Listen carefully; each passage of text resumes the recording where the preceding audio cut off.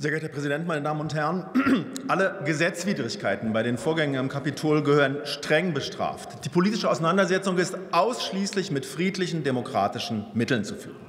Aber was für ein Schauspiel. In den USA eskaliert eine Demonstration und in Deutschland beeilt man sich festzustellen, dass hier ein ähnlicher Mob agiert. Gut, dass wir in Deutschland eben keinen vergleichbaren Vorfall, etwa vom Reichstag hatten, wo im Kapitol ein Haufen Stunden lang wütete, verlief sich hier die Truppe mit ihren Treppenselfies binnen Minuten. Kein Eindringen, Verletzte oder Sachbeschädigung. Drei Polizisten genügten. Aber man zieht einen schamlos falschen Sachvergleich, um mit Schreckensbildern aus den USA die deutsche Bevölkerung aufzuwiegeln gegen Kritiker der Regierungspolitik. Das ist Hass, das ist Hetze gegen demokratisch oppositionelle Minderheiten. Warum werden Regierungskritiker diffamiert? Nun, indem man sie quasi außerhalb der Meinungsvielfalt stellt, will man sie a priori ausgrenzen, anzeigen, dass man sich mit der Kritik, etwa an überzogenen Lockdown-Maßnahmen, gar nicht auseinanderzusetzen brauche, da das sowieso Gedankenverbrecher sind. Nichts möchte die Regierung lieber, als dass die Opposition sich radikalisiert. Wo das ausbleibt, fantasiert man sich einfach herbei, wie der bayerische Verbalrambo mit seiner Corona-RAF. Denn dann muss man der Opposition eben nicht mehr mit der Kraft des besseren Arguments begegnen, wo das Eis dünn wäre, sondern kann sich als Ordnungsmacht gegen Gesetzesbrecher stilisieren. Wer ist da ein Treiber der gesellschaftlichen Spaltung? Wer Provokateur der Hysterisierung? Es ist diese Regierung selbst, die ihre Vorgaben stets alternativlos stellt und Andersdenkende ausgrenzt. Und sollte Trump ein schlechter Verlierer sein, was wäre dann von Deutschland zu halten, wo eine Kanzlerin ein Wahlergebnis für unverzeihlich erklärt und verkündet, es gehöre rückgängig gemacht? Wer hat da ein gestörtes Verhältnis zur Demokratie, meine Damen und Herren?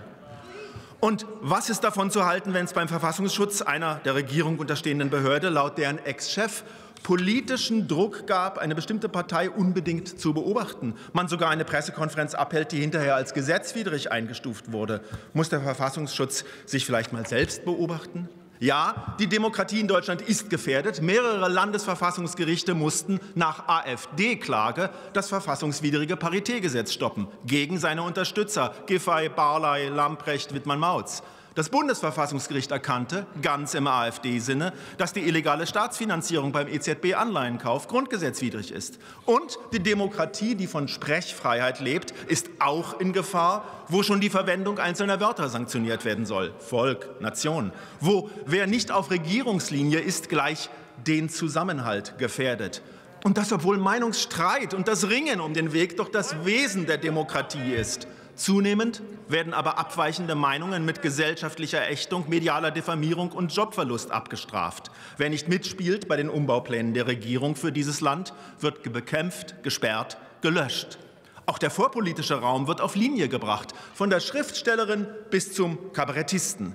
Eine Mehrheit der Deutschen hält sich laut Umfrage inzwischen lieber mit der eigenen Meinung zurück, als offen zu sagen, was man denkt. Denn was stört, wird zur Nichtmeinung erklärt, als Hass deklariert, dem Grundrechtsschutz entzogen. Man legt eine offizielle Wahrheit fest, nennt Zweifel daran Hetze und Verschwörung, will so eben doch Meinungen verbieten. Der eigentliche Angriff auf die Demokratie ist die Instrumentalisierung der Ausschreitungen im Kapitol, um eine flächendeckende Zensur zu etablieren. Die Löschorgien im Netz trommeln täglich zum Marsch in den digitalen Totalitarismus. Man will alle Kritiker zum Schweigen bringen. Eine Bücherverbrennung von gigantischem Ausmaß, meine Damen und Herren.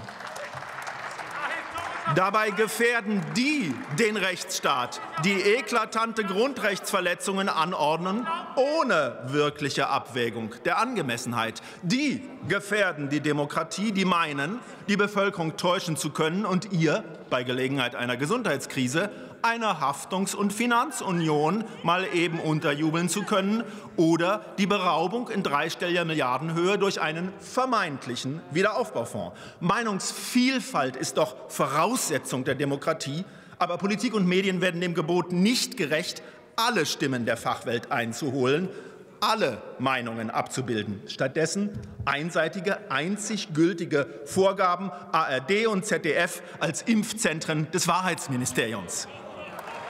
Wer Wer in Deutschland die Demokratie gefährdet, ist eine Regierung, die ihr Handeln als alternativlos ausgibt, der Debatte entziehen und alle Gegenstimmen von vornherein diskreditieren will, Deshalb ist geradezu ein Schutz der Demokratie in Deutschland die Alternative für Deutschland. Ich danke Ihnen.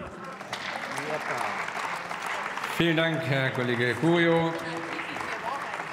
Vielleicht, liebe Kolleginnen und Kollegen, darf ich darauf hinweisen, dass Zwischenrufe das parlamentarische äh, Geschäft beleben. Allerdings, Herr Kollege Gremmels, kann ich sagen, wenn Sie eine relativ dichte Maske haben, dann kommt hier von Ihren Zwischenrufen außer einem großen Lautstärke relativ wenig an. Nehmen Sie sich ein Beispiel beim Kollegen Theurer, der hat beim Zwischenruf die Maske mal kurz abgenommen und dann wieder aufgesetzt. Dann haben wir es wenigstens verstanden. Nächster Redner ist der Kollege Dr. Johann Wadefuhl, CDU-CSU-Fraktion.